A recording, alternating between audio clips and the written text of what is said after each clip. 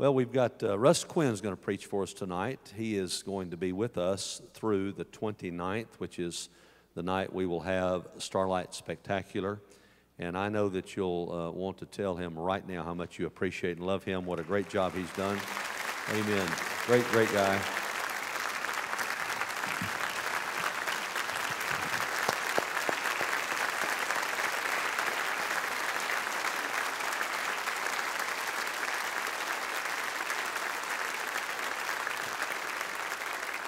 I think uh, I saw Laura. Where, where's Laura? There, right over here. Okay. Laura and all the Quinn girls, five of them. And uh, Russ, I know you're going to miss them because they're staying here. But uh, no, they're not. They're going with you, and uh, they're sweet girls. Now, Hannah's staying, though. You're going to the University of Memphis, right? And we're excited about that, and we will take good care of her, all right? But uh, Russ and I have been uh, friends. He came on staff with us when he graduated from Union. I had already met him while he was a student at Union, and I was at West Jackson Baptist Church. And that's where I was uh, Amy's pastor as well. But uh, at any rate, uh, we met, and he came to seminary. Uh, Samford University has a divinity school called Beeson Divinity School, a seminary there, and so he came there. And uh, he was good friends with David Jett, who was on staff with me, and he came on staff with us and did a great job. Served with us 10 years. I think you were with Kevin up at uh, Louisville for about four or five years, right? You've been here seven years, is that right? So the last uh, 21, 22, whatever years, uh, I've been closely associated with him. And uh, he's just become like my brother, my little brother. And uh, I love him and appreciate him so much. But he's going to be the bishop. I want you to write this down and be praying for this church, okay? Did I say bishop? Okay. I've been calling this, it's the funny, thing, I've been calling the Bishop of Enon, all right? Uh, anyway, uh, I had a, a, friend that was pastor at First Baptist, Venus, Texas. I said, You're the Bishop of Venus. But anyway, um, uh, he is going to be the pastor, excuse me, uh, same thing in the New Testament. Anyway, he's going to be the pastor of the uh, Enon, E N O N Baptist Church in Morris, M O R R I S, Alabama. And I hope that you'll be praying for them. Great church. Uh, when, when I was there, and he'll probably tell you a little bit more about it, they were running probably about 200, 250 and now they're pushing 700. They've just about tripled in the last few years. And it's in a great location. Don and I lived about five miles south of that church. And just a great place, a lot of growth, and God has strategically put him there for such a time as this. So I love him. He's, I asked him, I said, hey, man, uh, you know, I'm, I'm going to be here, but I know the people get tired of hearing me. Why don't you come up and preach the word and they can hear a real sermon? And so he said he'd be glad to do it. So let's welcome uh, Russ Quinn tonight.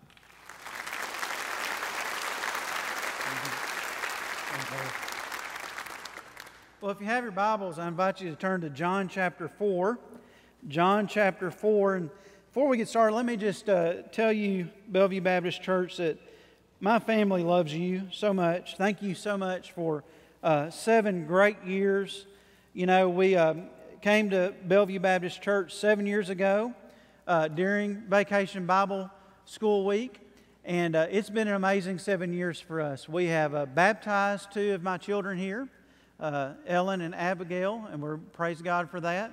Uh, we even added a baby in the last seven years. Mary uh, was born here in Memphis. We had three babies in Alabama, and then we had one in Kentucky, and then we had one here in Tennessee. And we're going back to Alabama, but we have no plans of any more Alabama babies, all right? So just, just for the record. But um, man, it's been great. We, we love you. Uh, the Lord has rooted us here. And uh, let me just tell you, it's been a struggle coming to this point of decision for us. Uh, we, we, we don't want to go. We love Bellevue. We love the people here. I love Steve. Steve is like a big brother to me. I'm so grateful to him and how he took me in as a college student and poured so much into me, taught me how to preach. I've, everything I know good about being a pastor or preaching, I've learned from him. Any mistakes are my own. But, uh, but he's been so good to me, and I've loved serving with, uh, with, with David Coombs and Drew Tucker and Mark Blair and, and all kinds of other friends on staff. This is a great staff. I've so enjoyed the, uh, serving with the deacons and the leadership here. One of the things about Bellevue, you're so blessed with leaders. Uh, it's amazing how many leaders and the quality of leaders uh, are at Bellevue Baptist Church. I love the past of this church. Been honored to be on this stage and this pulpit following the preachers uh, that have pastored this church. And uh, I love the president of this church. Let me just tell you, we've had uh, two or three consultants that are national consultants come in and, and, and, and meet with our people and meet with Bellevue over the last few years that I've been here. And I want you to know that every one of them say this consistently that Bellevue Baptist Church is one of the kindest churches in the country. And, uh, you know, I love that. And, and you are. This, is, this church, uh, intentional hospitality was exactly the right description when we came up with that, when you wanted to describe Bellevue Baptist Church. This is the kindest church I think I've ever been in. And, uh, and we love you and we're glad. But I tell you, the hardest part for me has been coming to the point of really realizing that I wouldn't have a role in what I see to be the vision of the future of this church because I really believe in the vision that God has given us over the last few years. As we've wrote out this vision frame, I really believe with all my heart that God wants to raise this church up to be a catalyst of spiritual awakening in Memphis and beyond. I think God has marked this church out. I think that it's in a, this is a special church in a special place at a special time. And you don't know anybody that has more confidence in the stock of Bellevue Baptist Church than me. And so it's hard for us to leave. It really is. Man, this has been a, a hard journey over the last couple of months. And, uh, but God has made it so clear that this is His will for me, this is His will for my family. He's made it clear to me, He's made it clear to Laura, He's made it clear to those around us. And uh, at this point, it's so clear that I would be afraid not to obey Him. And so uh, we're excited. I'm excited to get to preach every week. Uh, but there's, you know, it's a mixed emotion. It really is. We, we, we go through the, the cycle of emotions about every 15 minutes right now, and especially when I start thinking about leaving my baby. Uh, at the University of Memphis. and, uh, but Hannah feels called to stay here. She's uh, got deep roots here. You know, they've grown up here. And, uh, and she wants to stay involved in leading in, in, in the groups that she's leading in. And, and she loves Bellevue, loves Memphis, and, and really feels called to stay at Bellevue and in Memphis. But I'm so glad to have the, the opportunity to preach tonight. You know, I love to preach. Now, living with six women, let me just tell you, uh, really, when I preach is the only time I get to get a word in edgewise. So uh, I love to preach, all right? And, uh, and I'm looking forward to preach. I love God's Word, though. Let me just tell you, God's Word has changed my life. And uh, I believe it can change your life. I believe that God's Word is the most powerful force in the universe. And I love to preach God's Word. I love to learn God's Word better. I love to make God's Word clear. And I'm really looking forward to having the opportunity to preach uh, on a regular basis. But let me ask you a question tonight.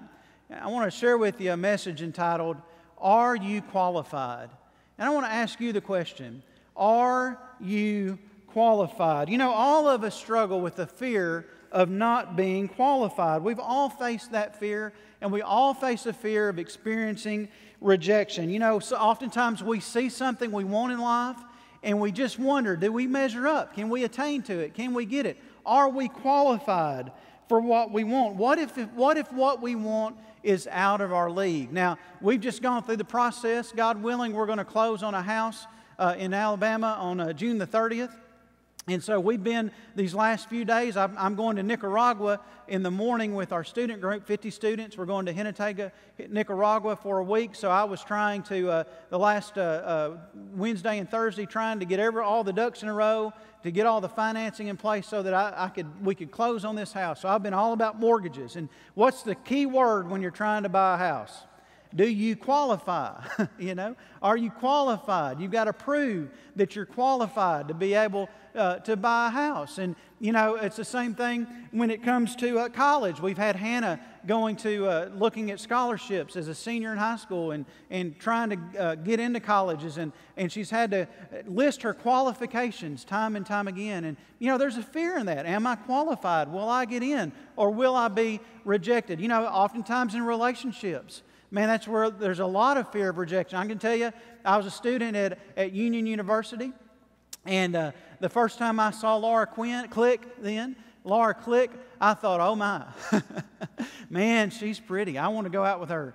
And uh, I wanted to ask her out, but you know what? I thought, surely she's out of my league, man. She's out of my league. Am I qualified for her to go out with me? And, and God uh, me with that. And, and I'm still not sure I'm qualified, but she uh, went out with me anyway.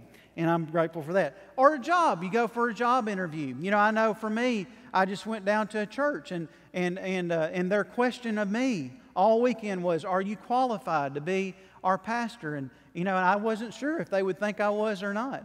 And, uh, and you know, and I still wonder, Am I qualified to be a pastor? So, qualification is a part of every part of life. And, but what about being qualified spiritually? Are you qualified spiritually? You know, I just believe that most Christians are living lives less than what God wants for them because they don't believe they're qualified to do all that God wants them to do. I believe most Christians aren't living the lives that God wants for them because they don't believe they're qualified to do all that God wants them to do. And I love John chapter 4. And, and, there's John chapter 4 more than any other story in the Bible. The story of the Samaritan woman at the well has probably shaped my imagination, captured my imagination, shaped my ministry, and who I am as a person, probably more than any other chapter in the whole Bible. And there's three things that we can learn from Jesus and this encounter with the Samaritan woman at the well about how Jesus qualifies us. And I believe there's three things that Jesus qualifies us to do based on this passage of Scripture in John chapter 4. First of all, you are qualified to receive Jesus. You are qualified to receive Jesus. Now, you know, one of the things that, that, that I think that the author of the Gospel of John is doing is with this story of the Samaritan woman, woman is I believe that he is wanting you to contrast this woman and who she is and how Jesus deals with her with Nicodemus in John chapter 3 and who he is and how Jesus deals with him. I think it's pretty clear how the Bible does, how the, the author does there, that we're supposed to contrast these two people.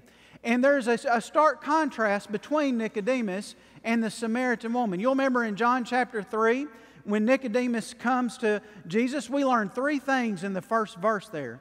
First of all, we learn his name. His name is Nicodemus. And we'll see in a minute that's a big deal.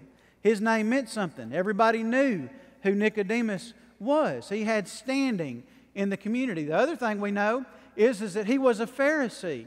And what that tells us was, is, is that Nicodemus was part of the conservative group of the day. He believed the Bible, he believed all the Bible. The Pharisees and the Sadducees were the two political, religious factions. There was no separation of church and state in Israel, and so religion and politics went hand in hand. And the Pharisees were the party of the people. They were the ones that believed all the Bible. And the Sadducees were a little bit more liberal. They just believed the first five books of the Bible. They were all about the temple, and they were more elite. But Nicodemus was a Pharisee. He was a, the party of the people and he was the conservative. And then we also learn in John, John chapter 3 about Nicodemus, he's called a ruler of the Jews. A ruler of the Jews. And what that means is, most likely, he was a member of what was known as the Sanhedrin. The Sanhedrin was made up of Sadducees and Pharisees, and they were a council and they were the governing body of Israel. They were the Supreme Court, so to speak. And so he was a, a, known man, he was a Pharisee, and he was part of the Sanhedrin. He was a big deal. You might say that Nicodemus was one of the least needy, most qualified people in all of Israel. Now, who would you think Jesus would come and want to see if Jesus was coming to town? Now, today, we might think, well, if Jesus came to America, he would probably pick out one of our uh, great pastors. Perhaps he'd want to see somebody on the, on the stature of a Dr. Billy Graham or a Dr. Steve Gaines or a Dr. Adrian Rogers or someone like that. Well, when you think of those names, that's who you ought to associate with Nicodemus. He's qualified, he's the most qualified. And yet, Jesus asked him, he says to Nicodemus, You're a teacher of Israel and you don't understand these things? See, even the most qualified person needed to be saved. They needed to be born again. And that was Jesus' message to Nicodemus. Now, if you go to chapter 4 and you look at the woman of the well, you'll notice that she is, is nothing like Nicodemus. First of all, we don't know her name. I think that's significant. We don't know her name. You know what? Nobody really paid much attention to her. She was not a big deal. Nobody would have recognized her name then, and nobody would really remember her name now. She was that kind of person. Nobody really knew who she was. But we do know that she was a Samaritan. That's a strike against her in ancient Israel. Did you know that Samaria is mentioned six times in these first five verses of the introduction of this story? Listen to what John chapter 4, verses 4 through 7 says. It says, And he had to pass, Jesus had to pass through Samaria. So he came to a city of Samaria called Sychar, near the parcel of ground that Jacob gave to his son Joseph, and Jacob's well was there. So Jesus, being wearied from his journey, was sitting thus by the well. It was about the sixth hour.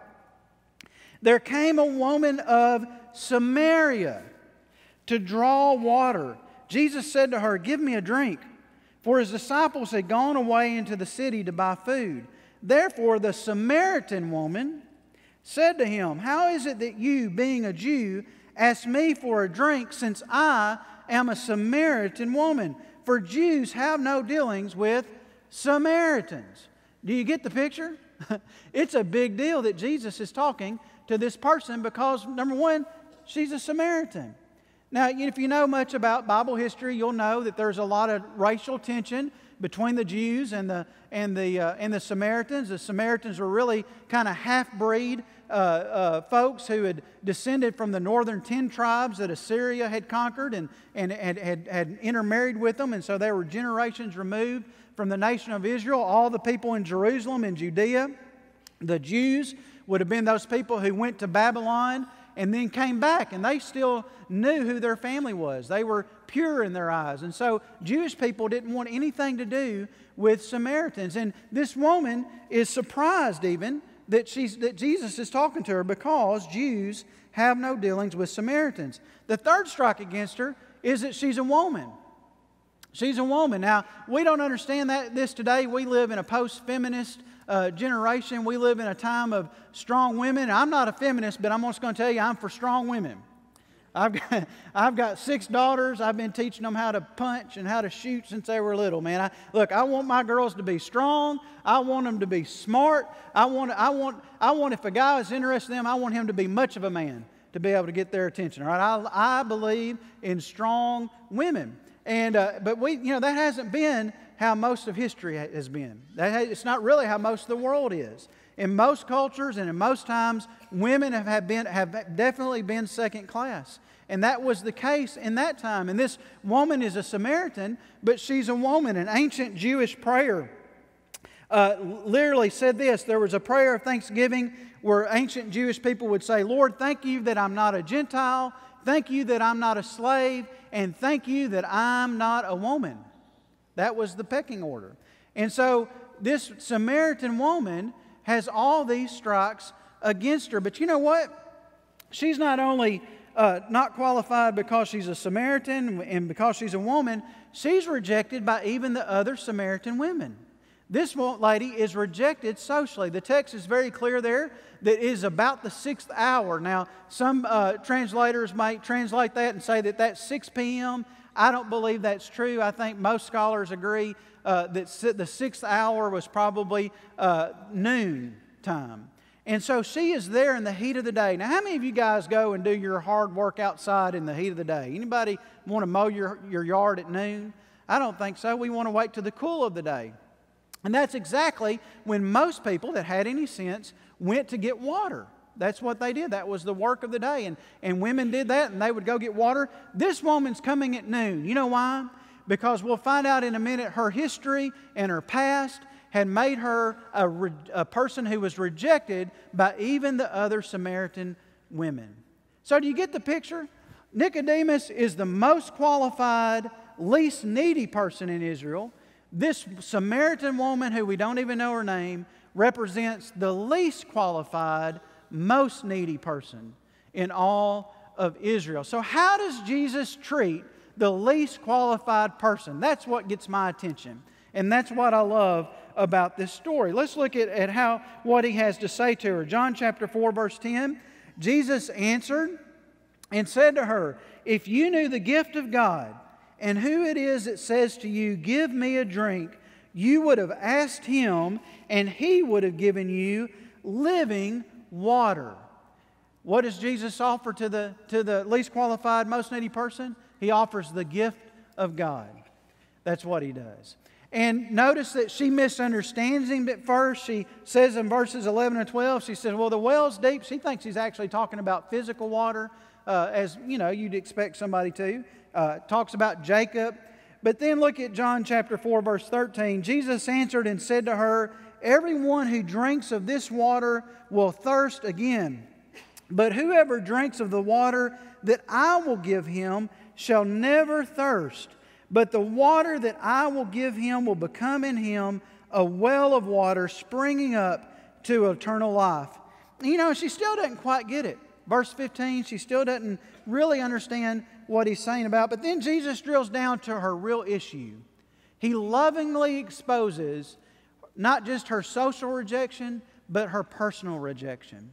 And he lovingly, like a good surgeon, gets in there and just kindly pricks the wound that's got her wounded in her heart. In verse 16, he tells her, he goes and he asks her a leading question. And how do many of you know that a lot of times Jesus can ask you a question that he already knows the answer to? Amen? And so he asks her, he says, Go and call your husband. Go and call your husband. And she responds and says, Well, you know, I have no husband. And Jesus knows that.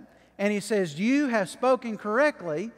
You've, uh, you've had five husbands, and the one you're living with now is not your husband. See, this woman, uh, her life had fallen apart. She was not only rejected socially, she had been rejected personally. Now, it might be easy for us to judge her and say, oh, look, she probably was the one that was wrong. Don't be so quick to do that. You never know what's going on in somebody else's life. You know, I'm sure she wasn't innocent, but I'll tell you what, she was probably sinned against as much as she had sinned. In that culture, uh, the, the men could divorce their wife for anything. Just like today, we have no fault divorce today, and I think that's a terrible thing. But in that culture, men could divorce their wives for, uh, uh, for nothing, for just burning the toast or whatever.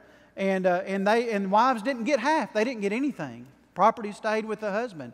So she could have been married at a young age, divorced at a young age for no fault of her own, and then passed around until finally she just gave up on it.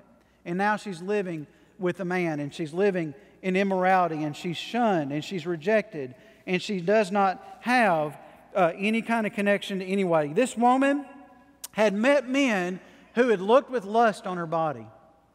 But now she was meeting a man who was looking at her soul and offering to satisfy her deepest need. Jesus saw everything about her. He saw her sin, he saw her problems. She had nowhere to hide, she was totally exposed. She had been ignored most of her life. She really didn't matter to most people. Now, someone who knew everything about her was not only talking to her, but was offering to give her the gift of God. Now, you know, I talk to a lot of people about their relationship with the Lord. And one of the things I often hear is I hear some people will say, well, you know what, uh, preacher, I, want to I wanna come to Jesus. I intend to come to Jesus one day. But before I do, there's some things I need to get right. There's some things I need to fix. I've got to fix some things before I come to Jesus. And now I appreciate part of that. You know, if you're not willing to change, if you're not willing for Jesus to change your life, if you love sin more than you love Jesus and you, and you want to hold on to your sin, you probably aren't going to come to Jesus. You know, you've got to come to Jesus with an open hand, willing and letting Him change.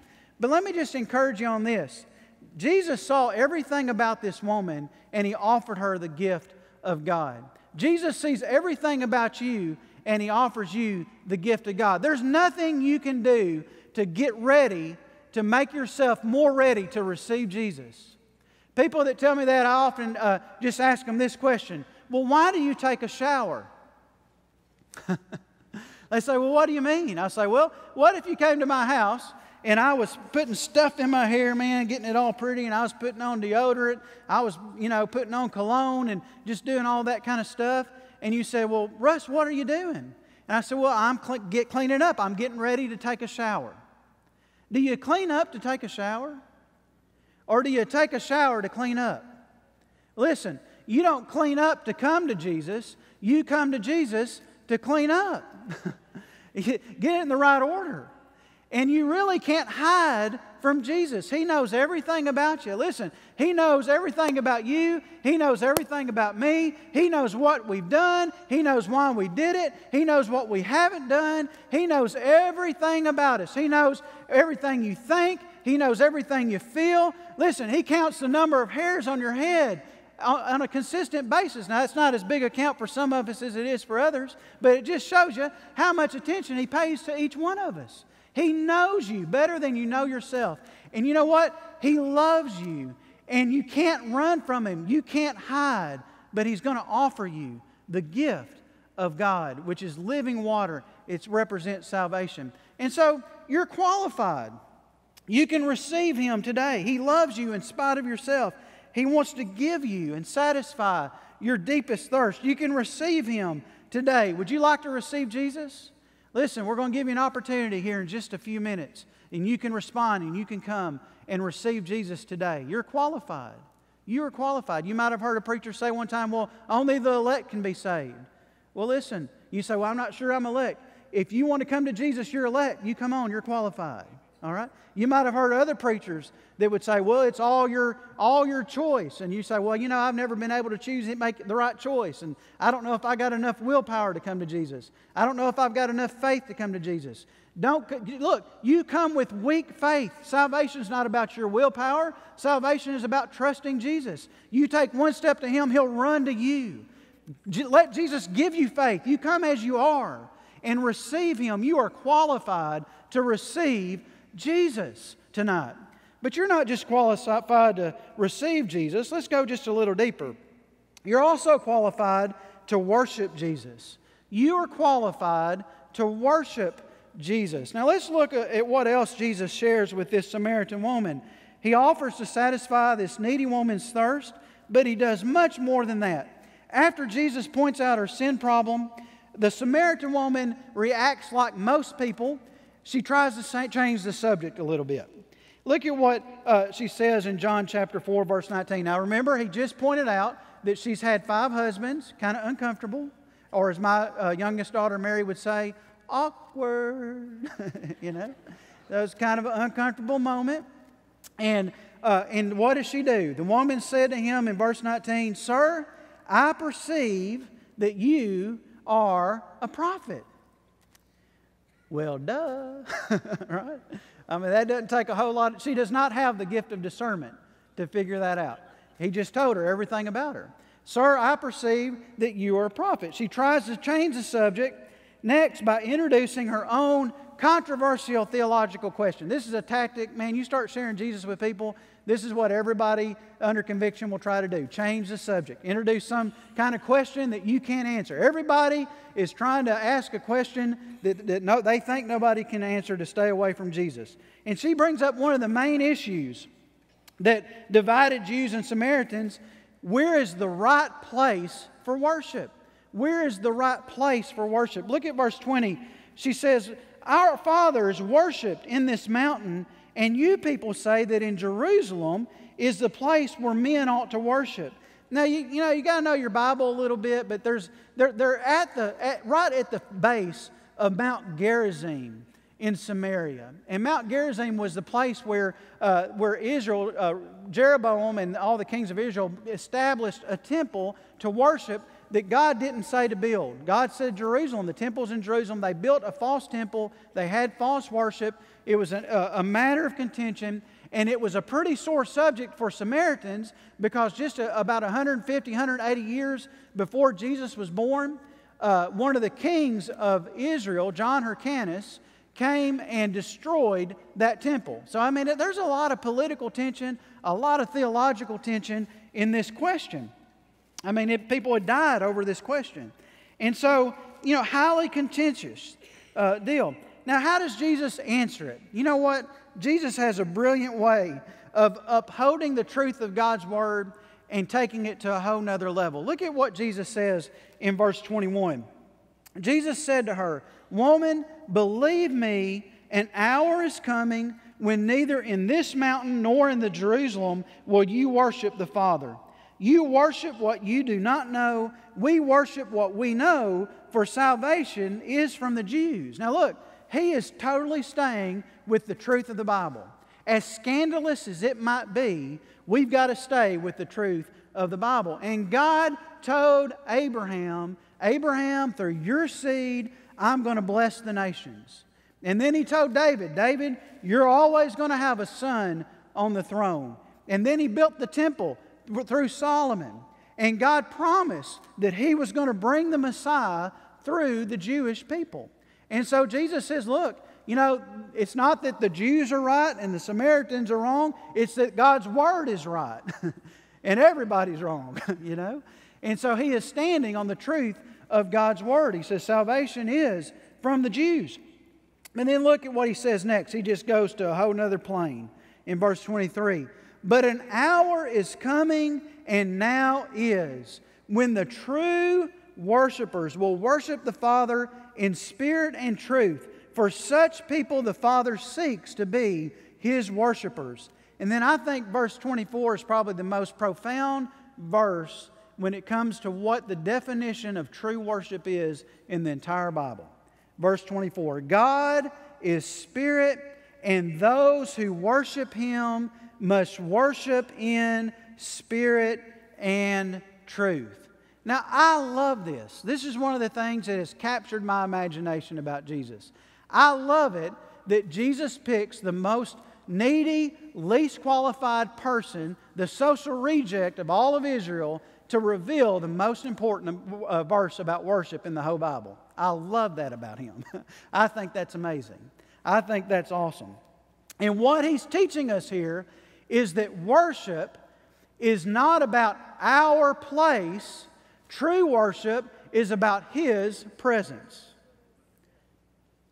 That's what he's teaching the woman. He's saying, you know what? It doesn't matter what mountain you're on. It doesn't matter if you're in Jerusalem or Mount Gerizim. It doesn't matter if you're at First Baptist Church or Second Baptist Church. It doesn't matter about our place. What matters is his presence. God is spirit, and we must worship him in spirit and in truth. It's how we respond to the presence of God. It's how we respond to the truth of God. That's what makes worship true worship. And you know, a lot of churches get this wrong. You know, Jesus says we need to worship in spirit and truth. And for some reason, Christians, ever since he said that, want to take those two things and separate them. You know, you get some churches that are really into truth. I mean, they love the Bible, they love God's Word, but man, you start talking about the presence of God and they are, are dead as a hammer, you know? Then you get other churches that, man, you know, they're happy, they're emotional, it's amazing, all that kind of stuff, but really they don't care anything about submitting to the authority of the Word of God. You know, you get whole churches that are, e- that are either or. They're either spirit churches or they're truth churches. I think sometimes it's got to do with our personality. You know, you, you might have some people who are kind of truth people. You know, they like the truth, they're analytical, and they like to, to have reasons for everything. And they love truth, but man, they don't want any of the emotion. You know, and you get other people who are a little more emotional. And man, they want to feel good all the time and they want to, everything's fun and everything's good and they're all about the Spirit. But man, don't, don't weigh me down with having to read the Word and, and think about the Bible. So, you know, we kind of take those things apart. But listen, God never intended for these things to be separated. He never intended for us to separate spirit and truth. Truth divorced from spirit can lead us to a dead legalism. I got this this morning from, from Brother Steve. I'm about to use what you said this morning, Steve. Truth separated from spirit can lead to a dead legalism. Spirit separated from truth can lead to a wild fanaticism. They both need to be together. True worship embraces the truth of God's Word, and true worship also embraces the reality of God's presence. Aren't you thirsty for true worship? Man, I am. I think this is the greatest need of our, of our day. I think that's the greatest need of this country. You say, what's the greatest need of this country? Elections? New politicians? Look, I'm praying for godly people. I understand politics are, are important, all that stuff. I'm kind of to the point, though, I think we're way beyond political solutions. I don't think, I don't, I don't believe any of them anymore, you know? And, and what I think we need more than politics is revival. I think we need churches who are seeking the presence of God, submitting to God's truth, and worshiping God in spirit and in truth. That's what I'm thirsty for. Is that what you're thirsty for? Man, I'm hungry for that. I'm praying that God will raise up churches that will worship Him in spirit and truth. This Samaritan woman learned that meeting Jesus changes everything. It absolutely changed everything. And when you know Jesus, listen, you're qualified to receive Jesus, you're qualified to worship Jesus. But then listen to this. If you're not listening to anything else I've said tonight, please focus in on this point with me. Worshiping Jesus, meeting Jesus, means you are qualified to share Jesus. You are qualified to receive Jesus. You are qualified to worship Jesus. But you are qualified to share Jesus. Look at what this simple encounter did and how it changed this woman woman's life. Look at verse 27. At this point, his disciples came and they were amazed that he had been speaking with a woman.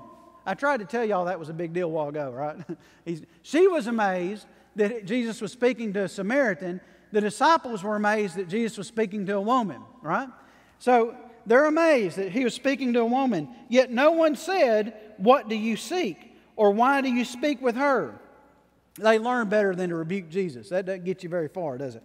So the woman left her water pot and went into the city and said to the men, Come see a man who told me all the things that I have done. This is not the Christ, is it? They went out of the city and they were coming to him. I bet most of them were a little worried about the fact that this woman had said, Hey, somebody's out here telling me everything I've ever done. They probably had vested interest, right? And so they're coming out to see what in the world is going on. And look at what happens. Look at what happens in verse 39. From that city, many of the Samaritans believed in him because of the word of the woman who testified. And look, this is all she said. This was her testimony. This is the essence of what it means to share Jesus. Right here. Here's all you got to know. He told me all the things that I've done. So when the Samaritans came to Jesus, they were asking him to stay with them, and he stayed there two days. Many more believed because of his word. And they were saying to the woman, It is no longer because of what you said that we believe, for we have heard for ourselves and know that this one is indeed the Savior of the world. That's the work of an evangelist right there. A successful evangelist will lead people to a point where they will say, you know what, I don't believe because of what you're saying anymore. Now I believe because I've met Jesus. That's, what, that's the whole goal of sharing Jesus. Uh, real worship will change your life. Real worship's contagious. One simple, unexpected encounter with Jesus, and this woman went from rejection to revival. She went from being an embarrassment to being an evangelist. She went from being an outcast on the edges of society to being the center of the spiritual life of this village. That's what Jesus can do with a life. That's what Jesus did this, with this woman. The people who once treated her like an outcast to be shunned now owed their very salvation to her testimony. Now, listen, I just want to encourage you on something. If you have received Jesus, like this woman, you are qualified to share Jesus. That's what you should learn from the woman at the well. She just simply goes and shares what Jesus had done for her. That's all she does. And it's effective. A whole village comes to Christ. But you know, many of us struggle with that, don't we? Many of us struggle with are we qualified to share Jesus? Many of us struggle with am I ready to do it? What if I start try to share Jesus with somebody and they and I don't know the answer to a question they might ask? What if I try to share Jesus with somebody and I mess up all the facts? What if I share Jesus with somebody and I don't make sense? Anybody besides me struggle when it comes to sharing Jesus with somebody? Well, listen, let me just tell you. I uh, have always thought that maybe one day I would become qualified enough that I wouldn't feel that way. I've worked hard at it. Listen, I have, have, have prepared myself as about as much as I know how to. I don't know anything else I could do to try to become more qualified to share Jesus than what I've done. I mean, I've been trained in EE, you know, I've got a, a bachelor's degree from Union University in religion and Greek. I've got a Master of Divinity uh, degree from Beeson Divinity School uh, at Samford University. I've got a PhD in New Testament from Southern Seminary. I don't think there's another degree I can go get that I'm aware of uh, to try to become more qualified when it comes to sharing Jesus. I've got, had a lot of experience. You know, I've served at three of the most evangelistic churches in the Southern Baptist Convention. I served 10 years at Gardendale First Baptist Church. I served four years at Highview Baptist Church. I've been at Bellevue Baptist Church, the center of, evangelism in the Southern Baptist Convention, for the last seven years. I mean, I've been educated, I've been around, uh, been experienced. And let me let you in on a little secret. I still struggle with feeling qualified every time I feel like I need to share Jesus with somebody. You never get qualified enough to share Jesus. You never do. You never do. What if somebody asks me something that I don't know? Well, let me just share with you what I've learned. This is what I think is the key to, to being freed up so that you can share Jesus with somebody. Here's the key don't let what you don't know keep you from sharing what you do know. Don't let what you don't know keep you from sharing what you do know. I've learned three very powerful words that has helped me get over my fear of not being qualified when it comes to sharing Jesus. I'm going to share them with you right now. You ready? Here's my three words. Somebody starts to ask a question. I'm wanting to share Jesus with them. Somebody asks me a question that I don't know the answer to. Here's the three words that'll get you out every time. You ready? I don't know. I don't know. Let's just say those three words together. I just want you to say them with me, and, and, and then we're going to see the roof will not fall in. Are you ready? Let's say them together. One, two, three. I don't know. Woo, we're going to get free in here tonight. It's all right. You don't have to know everything to share Jesus with somebody. You don't have to know everything. You say, Brother Russ, how old is the earth? I don't know. You say, Brother Russ, how does the sovereignty of God and the free will of man work together? I don't know. You say, Brother Russ, why does God let bad things happen to good people? I don't know.